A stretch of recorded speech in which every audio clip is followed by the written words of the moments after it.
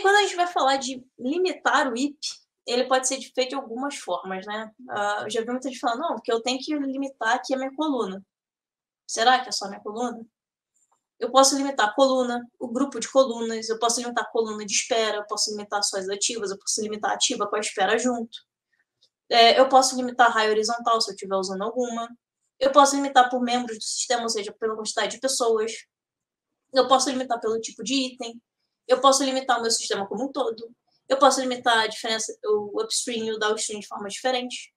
Então, assim, eu posso limitar de N formas é, segmentadas. Eu posso utilizar uma combinação de limite. E essa que é a parte muito legal do Kanban. Ele não vai te dizer que a regra é essa e você tem que aplicar dessa forma. Você pode experimentar. Então, não sei se vocês já viram ou se vocês já experimentaram limitar de formas diferentes. Mas isso aqui é alguma das formas que você pode limitar o IP dentro do seu sistema. E aí mostrando aqui né, alguns exemplos como ficaria, por exemplo, por cores, por tipos de, de itens de trabalho. Então, dentro das minhas etapas aqui, né, de novo, início e fim, meu IP aqui interno eu poderia ter ah, 10 cartõezinhos amarelos, 3 vermelhos e 2 azuis. Pô, legal, tô dentro do meu limite e está limitado aqui a quantidade de itens de trabalho. Por que limitar? O que, que eu estou falando quando eu limito? Eu estou falando que eu estou dando um número máximo de itens estarem em alguma etapa de acordo com a minha regra. Nesse caso aqui, eu estou falando que o meu máximo é ter 10 cartões amarelos. Eu tenho 6, né? Ativos, 6 cartões amarelos ativos. Então, ainda poderia puxar aqui do meu backlog mais itens amarelos. E tá tudo bem. Mas quando eu falo de limitar o IP, quando eu digo que eu tenho um número máximo, eu estou falando que eu não posso ter mais trabalho naquela coluna, naquela etapa, daquela cor, conforme a minha regra. Então, eu já criei uma política explícita. Outro exemplo aqui, né? Eu poderia limitar por grupos de coluna. Então, eu tenho aqui etapas, né? Minhas macroetapas. E aqui vocês percebam que a minha análise, a, minha etapa de análise, minha etapa de desenvolvimento, ela está dividida em dois. Em doing e done nesse cenário, a, tanto a coluna de doing e done, elas estão contando juntas no mesmo limite. Ou seja, eu tenho a espera aqui em done e ela está limitada. Então, toda a minha etapa de desenvolvimento aqui, por exemplo, ela se limita a 4. Se eu tiver 4 em done, eu tenho 4. Estou no meu limite, eu não posso puxar trabalho novo. Ah, eu tenho 3 em done e eu tenho espaço sobrando, beleza? Eu posso puxar uma para doing.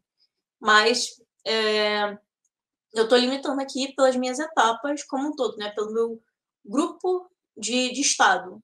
Então, eu posso limitar, inclusive, aqui, ó, aguardando deploy, porque eu estou limitando o tempo de espera, mas eu também posso limitar minha espera. Eu poderia limitar o meu sistema como um todo. Todas as minhas colunas, né, o máximo de cartões que eu posso ter em todas as minhas colunas, todas as minhas etapas, são 15 itens. Independente de qual seja, são 15 itens. Se vão ser 15 vermelhos, se vai ser 10 amarelos, 3 vermelhos e 2 azuis, não importa o meu total de itens de trabalho são 15 e eu não estou me importando com o tipo que vai ser. Eu posso limitar por um grupo de etapas e não limitar algum tipo, algum, um, alguma parte do grupo. Se isso aqui fosse, por exemplo, eu tivesse isso aqui mais descrito para um lado e para o outro, abrindo um upstream para um downstream segmentando, é que eu estaria talvez dizendo que, olha, minha etapa aqui de definição, ela está sendo limitada. Eu posso ter aqui 20 cartões disponíveis, beleza? Mas o meu limite quando chega em desenvolvimento, e para todas as minhas outras etapas, a parte de desenvolvimento é 10. Então, eu posso ter essas estratégias diferentes para limitar. E o importante é que eu vá experimentando, enxergando e vendo o que, que vai funcionar melhor. Claro que é mais tradicional, né? é mais comum a gente ver é, o limite feito por colunas ou grupamento de colunas, tá? Mas eu já vi também por grupamento e isso em lane, por exemplo. Então acaba é, acontecendo dessa forma. E você pode, inclusive, combinar quais tipos de limite você está usando. Você pode ter por etapas e por pessoas, ou etapas e tipos de itens de trabalho. Então, também isso é bem, bem interessante você conseguir fazer essa mescla. Então, seguindo aqui, né? Um, como eu tive. Já, já trabalhei com Kanban algumas vezes, já trabalhei com times Scrum, já tive que já trabalhei em, em, lugares onde falar de Kanban era quase a morte, assim. Você, ah, não, aqui é Scrum, se você falar de Kanban, tentar trazer alguma coisa de Kanban, você está cometendo uma grande heresia. É... é, e, você, e a gente já. E você tá acabando cometendo, sei lá, você vai matar alguém se você falar de Kanban aqui dentro. Tipo, não, pelo amor de Deus, não fala de Kanban, porque a gente só sabe fazer Scrum.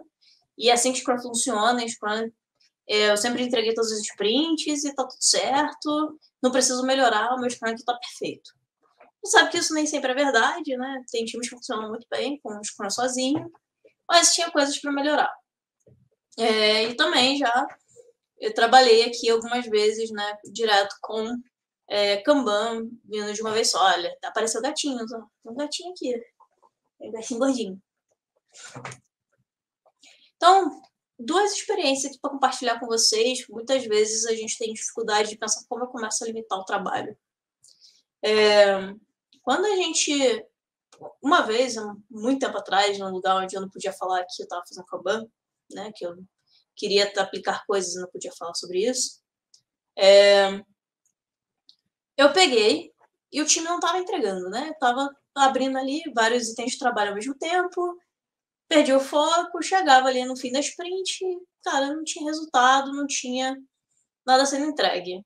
E aí eu deixei isso acontecer, porque eu queria ter o fato dado para trabalhar na retrospectiva com o time. E aí o que eu fiz foi, todos os dias eu tirava uma foto, isso ainda era físico, do quadro que estava na parede. E todos os dias eu ia tirando uma foto até o dia da retrospectiva. Eu esperei chegar na retrospectiva e aí eu fiz uma dinâmica com o time, falando um pouquinho daquele.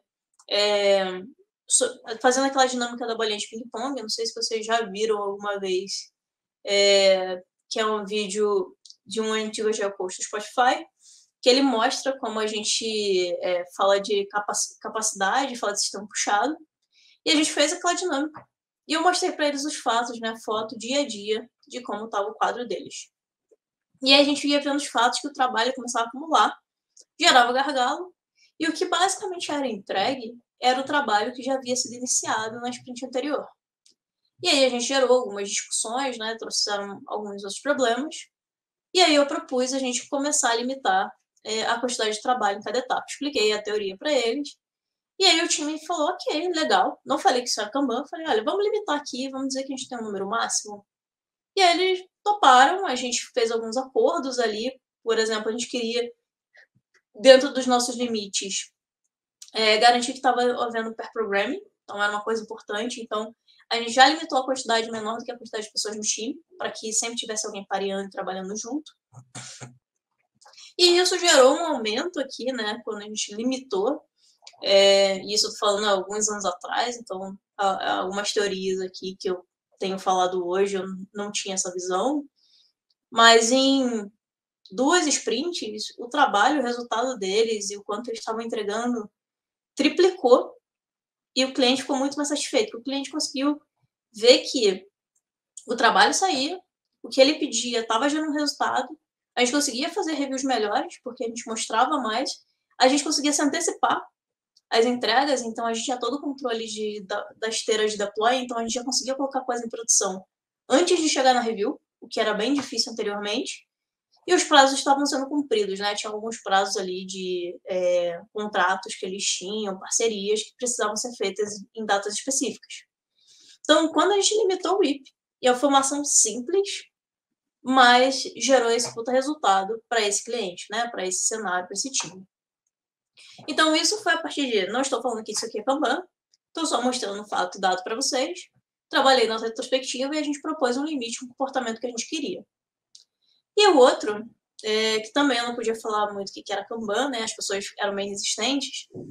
Eu, a gente limitou falando sobre uma política aqui, criando uma regra de quanto, tra quanto trabalho cada pessoa consegue fazer. A gente já tem muito cenário, né? Muito caso que a gente fala é, de time Scrum, a gente fala daquela, daquele gráfico de contexto, né? De troca de contexto. Ah, se você está trabalhando em tantas coisas, tem tanta troca de contexto, você se perde. Então, o ideal é não ficar chamando e tudo mais. E aí eu usei isso com esse time para falar, legal, quantos contextos né, alguém pode estar ao mesmo tempo? E a gente começou a limitar, sem falar de limite, só criando uma regra de quantos contextos uma pessoa pode estar se envolvendo ao mesmo tempo. E aí eles começaram com dois, depois entenderam que era um. E aí a gente trouxe esse limite do contexto para o limite do quadro. E aí a gente conseguiu limitar é, o fluxo como um todo pela quantidade de pessoas. E funcionava, começou a gerar até melhores planejamentos em cima desse, desse cenário, né, do time é, criar essa regra de eu não posso abrir mais contextos do que a minha capacidade é, me permite. É, o Antônio falou aqui, né? Limitei com colunas, as colunas que tinha essa semana, como sempre faz surgência do trabalho, deixei um limite de dois itens por dev em alguma coluna por motivo. E a Helenice falando que já usou limite por tipo de item para ter equilíbrio entre implantações de funcionalidades, ajustes de débitos e bugs. Então, legal, já limitou por pessoas e por colunas. Então, a gente tem várias dessas estratégias. É, o mais difícil, geralmente, é começar. Quando a gente está inserido né, dentro de um, de um contexto, a, a, aquela máxima né, se faz, se faz real, que é santo de casa não faz milagre. E aí a gente precisa acabar aplicando, né, é, limitando o IP ali com o time, com as pessoas, com os nossos stakeholders, sem falar que a gente está fazendo. Então a gente vai muito pela pegada ali das políticas para a gente conseguir fazer esse limite. Quando como hoje em dia eu trabalho com consultoria e eu já trabalho, é, o cliente já está me ouvindo, eu já consigo chegar e determinar ali, trabalhar junto com ele, falar o quanto é importante e ele validar, porque hoje eu tenho um discurso de autoridade maior.